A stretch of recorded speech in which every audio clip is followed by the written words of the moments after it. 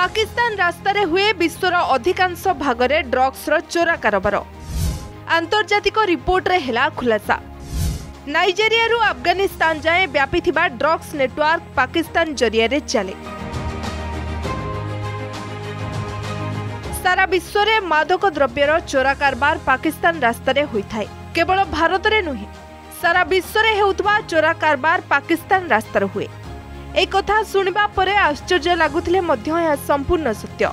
ବିଦେଶୀ ଗଣମାଧ୍ୟମରେ ପ୍ରକାଶିତ ଅନୁସନ୍ଧାନମୂଳକ ରିପୋର୍ଟରେ ଏହାର ଖୁଲାସା ହୋଇଛି। ଏହି ରିପୋର୍ଟରେ କୁହାଯାଇଛି ଯେ ମାଦକ ପଦାର୍ଥ ଚୋରା କାରବାର ଓ ଯୁବକମାନଙ୍କୁ ନିଶା ସେବନରେ ଅଭ୍ୟସ୍ତ କରିବାକୁ କେନ୍ଦ୍ର କରି ଏକ ତନ୍ତ୍ର ବିକଶିତ କରାଯାଇଛି। ଏକ ଆନ୍ତର୍ଜାତିକ ଡ୍ରଗ୍ସ ଚୋରା କାରବାର ନେଟୱାର୍କ କିଛି ଉପସାଗରୀୟ ଦେଶମାନଙ୍କ ମାଧ୍ୟମରେ ନାଇଜେରିଆଠାରୁ ଆରମ୍ଭ କରି ଆଫଗାନିସ୍ତାନ ଯାଏଁ ବ୍ୟାପିଛି। ଏହି ନେଟୱାର୍କ ପାକିସ୍ତାନ ମାଧ୍ୟମରେ କାମ କରିଥାଏ। ନାଇଜେରିଆରେ ସର୍ବାଧିକ ବ୍ୟବହାର କରାଯାଉଥିବା ଡ୍ରଗ୍ସ ହେଉଛି ଟ୍ରମାଡୋଲ ଓ କୋଣ୍ଡିନ୍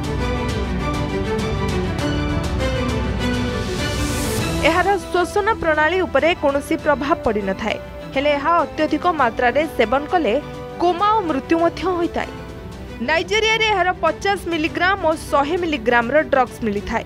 କିନ୍ତୁ ବଜାରରେ ଏବେ ଦୁଇଶହ ଓ ଦୁଇଶହ ପଚିଶ ମିଲିଗ୍ରାମର ଉଚ୍ଚ ଟାବଲେଟ୍ ଏବେ ତିଆରି କରାଯାଇ ପାକିସ୍ତାନ ରାସ୍ତାରେ ବିଭିନ୍ନ ଦେଶକୁ ଚୋରା ଚାଲାଣ କରାଯାଉଛି। ନାଇଜେରିଆର national drug law enforcement agency ଏକ ବକ୍ତବ୍ୟ ଜାରି କରି କହିଛି ଯେ ପାକିସ୍ତାନରୁ ଚୋରାରେ ସତର ମିଲିୟନରୁ ଅଧିକ ଡ୍ରଗ୍ସ ଜବତ ହୋଇଛି। ପାକିସ୍ତାନରୁ ଯାଇଥିବା ଡ୍ରଗ୍ସ ଆଫ୍ରିକୀୟ ଦେଶମାନଙ୍କରେ ଧରାପଡ଼ିବା ନୀତିଦିନିଆ ଘଟଣା ହୋଇସାରିଲାଣି। ଚଳିତ ବର୍ଷ ଫେବୃଆରୀ ମାସରେ ଇଥିଓପିଆନ୍ ଏୟାରଲାଇନ୍ସ ମାଧ୍ୟମରେ ପାକିସ୍ତାନରୁ ଆସୁଥିବା ଚାରିଶହ ଷାଠିଏ କିଲୋଗ୍ରାମରୁ ଉର୍ଦ୍ଧ୍ୱ ଟ୍ରାମାଡୋଲର ଦୁଇଶହ ପଚିଶ ମିଲିଗ୍ରାମର କ୍ୟାପସୁଲ ଜବତ କରାଯାଇଥିଲା। ଏହି ଡ୍ରଗ୍ସ ରାକେଟ୍ ସହିତ ପାକିସ୍ତାନକୁ ଯୋଡ଼ାଯିବା ସହ ଇସଲାମୀ ଆତଙ୍କବାଦୀ ସଂଗଠନ ଆଇଏସ୍ଆଇଏସ୍ ଓ ବୋକୋ ହରାମ ସହ ସମ୍ପର୍କ ରହିଥିବା ଅନୁମାନ କରାଯାଉଛି।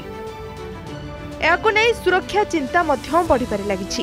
ଏହି ରିପୋର୍ଟରେ ଆହୁରି କୁହାଯାଇଛି ଯେ ପାକିସ୍ତାନରୁ ଇସଲାମିକ ଷ୍ଟେଟ୍ ଅଞ୍ଚଳରେ ଏହି ଡ୍ରଗ୍ସ ଧରାପଡ଼ିବାର ଅନେକ ଉଦାହରଣ ଆଗରୁ ମଧ୍ୟ ରହିଛି।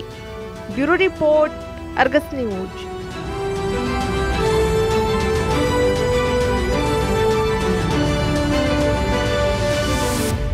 ନମସ୍କାର ଚାଖଟିରୁ ସ୍ୱାଗତ କରୁଛୁ।